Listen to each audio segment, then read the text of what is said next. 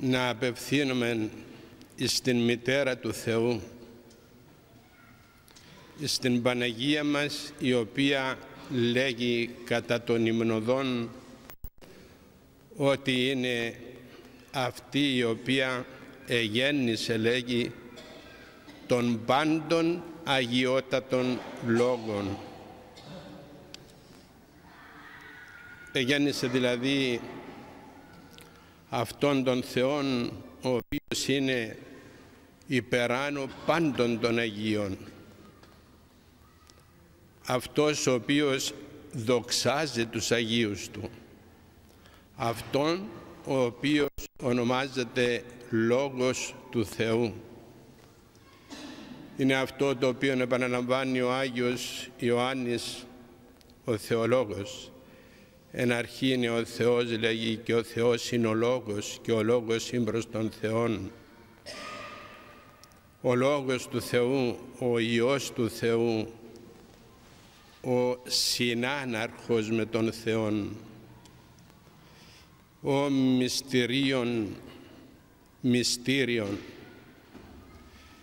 Πώς είναι το δυνατόν μία γυναίκα να γεννήσει τον Θεόν; Δεν υπήρχε άλλος τρόπος για να σωθούμε.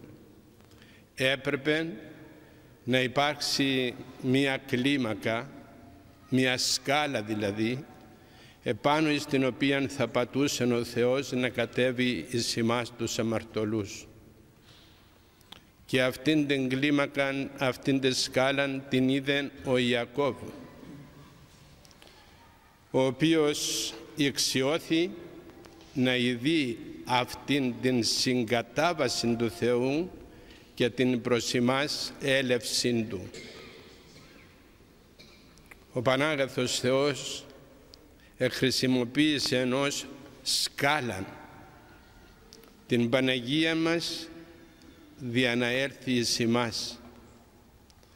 Και ο υμνοδός απευθυνόμενος προς την Παναγία μας της λέγει «Ο πανύμνητε μήτερ, η τεκούσα των πάντων Αγίων Αγιότατων Λόγων». Είσαι η μητέρα λέγει στην οποία όσα και αν πούμε δεν μπορούμε να φτάσουμε και να πούμε ότι τελειώνουν οι ύμνοι εις το πρόσωπό σου. Είναι η Παναγία μας εκείνη η οποία εδέχθη και δέχεται όλους τους ύμνους όσους προσφέρουν επί της γης Άγιοι, ασκητέ, ομολογητέ, μάρτυρες όσοι έχησαν το αίμα των δια των Θεών δια την Παναγία μας δεν υπάρχει τέλος ύμνων όλοι οι ύμνοι όσοι και να αναφέρομαι δεν τελειώνουν εις το πρόσωπο της Παναγίας μας είναι αυτή η οποία έγινε αιτία να σωθούμε είναι αυτή η οποία ημέραστε και νυχτός κλαίει προς τον Υιόν της δια τας αμαρτίας μας. Εάν δεν υπήρχε η Παναγία μας δεν θα υπήρχε κόσμος. Διότι είναι τόση πολύ η αμαρτία ούτως ώστε ο Πατήρ, ο Υιός και το Άγιον Πνεύμα, η Αγία Τριάδα έφτασαν στο σημείο εκείνον το οποίο εγένε τότε ήρθε ο κατακλυσμός. Η αμαρτία του κόσμου επληθύνθη. Ο κόσμος απεμακρύνθη από τον Θεό. Λατρεύουν οι άνθρωποι τα είδωλα παρά των Θεών. Εδώ μαγείες, εκεί κακία, πέρα πόλεμοι, έπειτα καταστασίες και διαφθορά της κοινωνίας. Και εκείνη η Παναγία μας κλαίει απαρηγόρητα και λέγει «Ιέ μου και Θεέ μου, μακροθύμησον δια τον κόσμο σου τον οποίον έχεις στο αίμα σου, ίσως μετανοήσουν». Και παρακαλεί η Παναγία μας. Και ας την βλασφημούν οι άνθρωποι. Ας την βλασφημούν αυτοί οι οποίοι έλαβαν από την Παναγία μας τόση μεγάλη ευεργεσία. Και εκείνη κλαίει. Παρακαλεί όπως εκείνη την ώρα όπου ανέβηκε ο Υιός της επάνω εις τον Σταυρόν όταν τον έβλεπε να λέγει «Πάτερ μου, άφες αυτής, ουγαρίδαση τι ποιούσι». Αυτά έλεγε ο Υιός της, αυτά λέγει η Παναγία προς τον Υιόν της. «Ιέ μου και Θεέ μου, άφες αυτής, ουγαρίδαση τι ποιούσι». Αυτό το οποίο είπε και ο πρωτομάρτης Στέφανος όταν τον ελιθοβολούσαν. Κύριε μη στήσεις αυτής στην αμαρτία ταύτη. Πόση αμαρτία υπάρχει στον κόσμο τούτον; Απερίγραπτος. Δεν υπάρχει γραφίδα να γράψει ποια αμαρτία υπάρχει σήμερα στον κόσμο. Είναι εν εκ των σημείων του ερχομού του Αντιχρίστου. Όταν ο κόσμος απομακρυνθεί από τον Θεό, τότε θα έρθει ο Αντίχριστος. Είναι η ώρα κατά την οποία η κόλασης ολόκληρος αφέθη ελεύθερος, ελεύθερη. Εξήλθον οι δαίμονες στον κόσμο και δαιμονίσθη ο κόσμος ολόκληρος. Δεν γνωρίζουν που περπατούν, που πηγαίνουν, που έρχονται, τι κάνουν. Και η Παναγία μας παρακαλεί τον Υιόν της. Ιέ μου και Θεέ μου μακροθύμησον επί τον κόσμο σου. Έχισε στο αίμα σου δι' αυτούς. Και ο Ιερός Υμνοδός απενευθυνόμενος προς την Παναγία μας της λέγει ότι είναι αυτή η οποία δέχεται τους ύμνους των παιδιών της και των παιδιών του Ιού της. Ω πανύμνητε μήτερ η τεκούσα των πάντων Αγίων Αγιότατων Λόγων δεξαμένη την νυν προσφοράν. Ποια είναι η προσφορά την οποία απευθύναμε εμείς προς την Παναγία μας εις κάθε Παρασκευή συνεκεντρώνεται ο κόσμος εις τας Εκκλησίας για να ακούσει αυτά τα οποία ακούσαμε σήμερα και τας προηγουμένας συνάξεις. Ακούσαμε τους ύμνους, ακούσαμε την γλυκύτητα της συντάξεως και μελουργίας αυτής της ακολουθίας.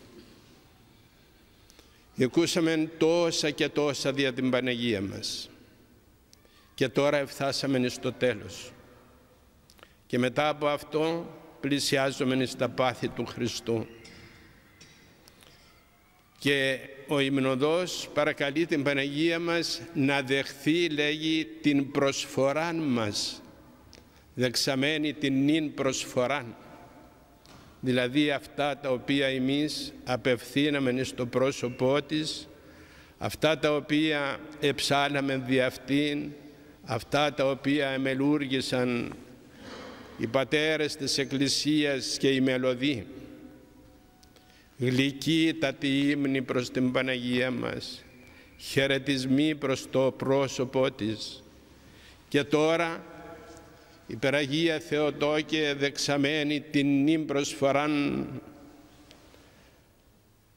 τι ζητούμε από σένα;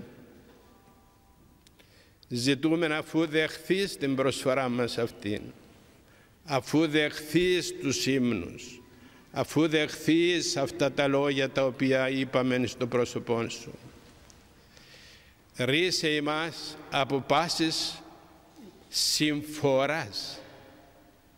Στον κόσμο τούτον αδερφοί μου υπάρχουν δυσκολίες, υπάρχουν απεριόριστοι και ανέκφραστη κίνδυνη. Η δε μεγαλύτερη κίνδυνη στον κόσμο τούτον είναι αυτούς τους οποίους προβάλλει ο Αντίχριστος για να πάρει την ψυχή μας.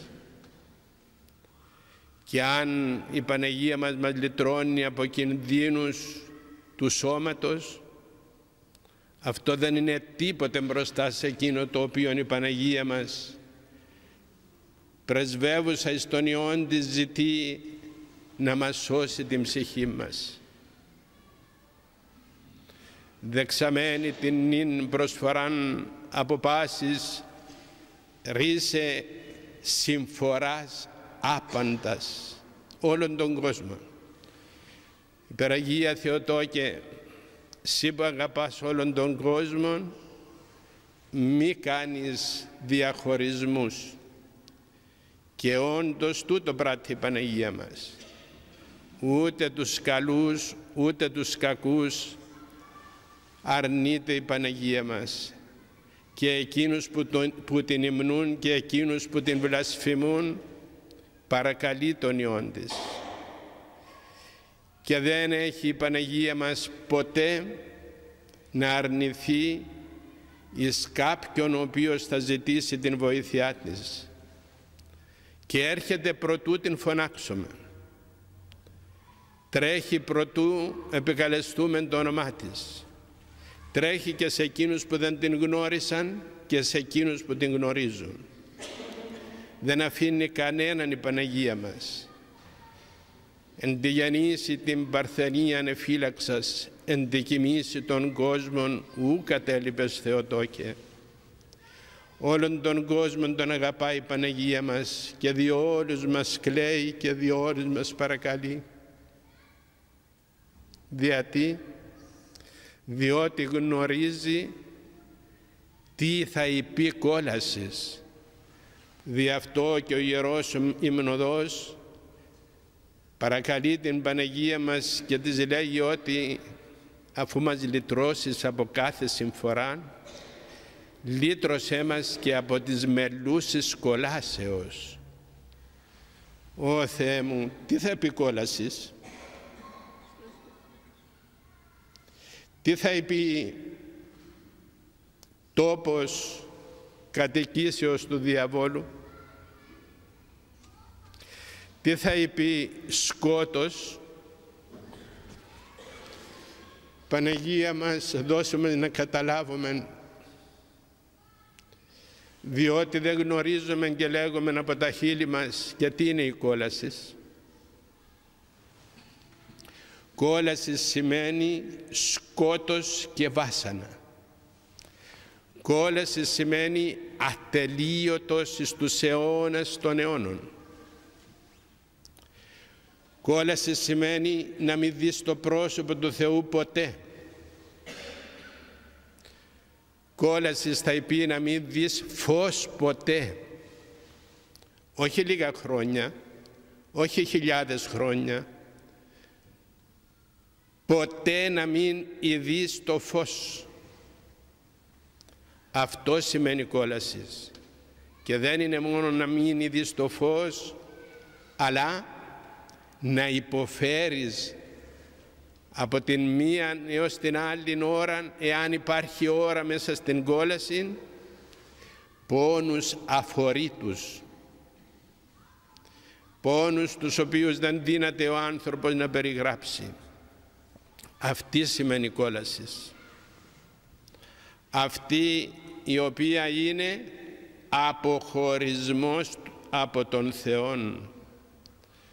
Και λέει ο Πανάγαθος Θεός όταν ο Ιούδας επρόκειτο να τον παραδώσει προς το πάθος το εκούσιον,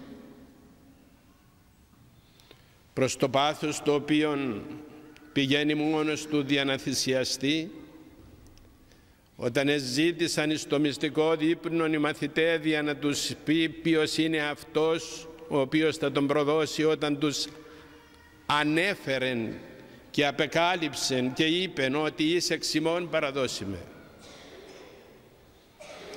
Τότε εκείνη της στιγμή ο Ιούδας για να μην φανεί ότι είναι αυτός που θα προδώσει τον Χριστό. Ήψωσε και εκείνος το χέρι του και λέγει μήτι εγώ Κύριε. Και ο Κύριος του είπε ναι εσύ είσαι αλλά το μεγάλο θαύμα ήταν ότι δεν ήκουσαν οι μαθητές μόνο ο Ιούδας. Και εκείνη την ώρα πρόσθεσε ο Χριστός στον Ιούδα και του λέγει αυτός που θα με προδώσει δηλαδή εσύ καλύτερα να μην γεννάσω. Εδώ μπορούμε να έβρωμε τι θα είπε κόλασης αδερφοί μου. Όταν ένας Πανάγαθος Θεός ερμηνεύει και λέγει τι είναι η κόλασης, είναι καλύτερο ο άνθρωπος να μην είναι γεννάτο.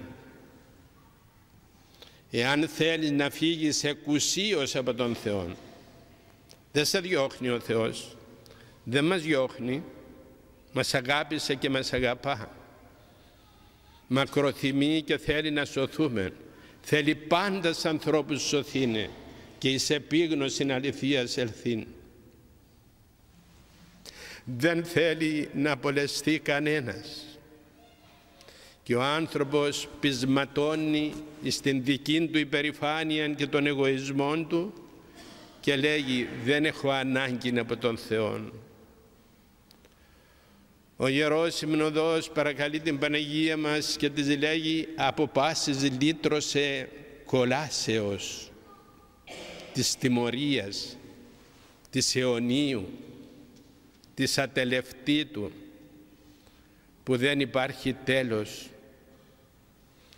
Λύτρωσε μας από αυτήν την κόλαση Παναγία μας και εκείνη παρακαλεί τον Υιόν της και ζητεί την μακροθυμία του. Μακροθύμησον, Ιέ μου και Θεέ μου, ίσως μετανοήσει ο άνθρωπος και ζητήσει όχι τα επί της γης, αλλά τα ουράνια. Να ζητήσει να καταλάβει τι είναι μέλουσα ζωή και αιώνιο ζωή στην Βασιλεία των Ουρανών. Η Αγία Γραφή περιγράφει και λέγει ότι πίστης εστίν ελπιζομένων υπόστασης πραγμάτων έλεγχος μη βλεπομένων. Το να πιστεύεις εις τον Θεόν δεν είναι εύκολο. Ενώ οι δαίμονες πιστεύουν και φρύτουν, ο σημερινός άνθρωπος και ο κάθε ένας άνθρωπος που δεν εγνώρισε ούτε την Αγία Γραφή, ούτε το Θείο Κήρυγμα, ούτε την προσευχή, ούτε την εξομολόγηση, ούτε τη Θεία Κοινωνία. Αυτός είναι χειρότερος πάντων και εξέλεξε μόνος του την απομάκρυνσή του από τον Θεό. Ο Θεός αναμένει και ο άνθρωπος φεύγει. Ο Θεός περιμένει και ο άνθρωπος φεύγει. Ο Θεός φωνάζει επάνω στο σταυρό διψώ. Και μέσα στον κήπο της Γεσθημανή παρατηρείται η υδροέμαξη του Θεού.